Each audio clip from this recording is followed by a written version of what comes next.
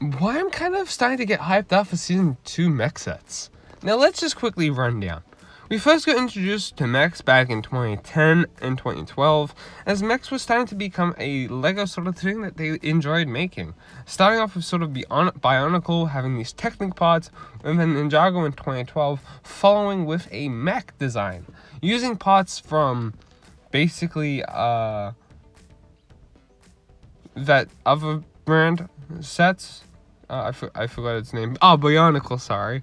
And using sort of same similarity ideas, we were able to transform that into a Lego Bricks mech, which became the Samurai X mech. And throughout the last several years of Ninjago, they've enjoyed the mechs. And they've even developed a bike and mech set for Ninjago and Marvel.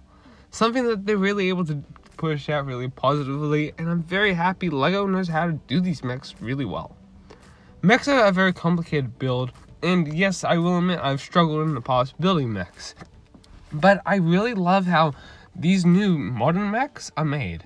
With new joints and new articulation, over the last several years they've gotten better. Take for example Sora's transforming mech.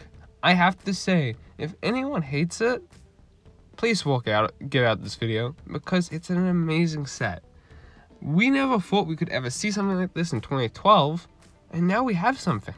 This is so why I'm not concerned about Sora is having Sora having a mech next season.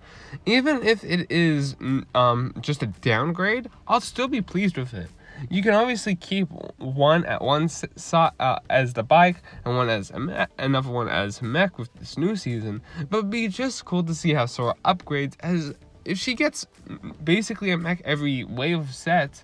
I would think that's a really cool idea as Sora is a technology character. She is able to build stuff.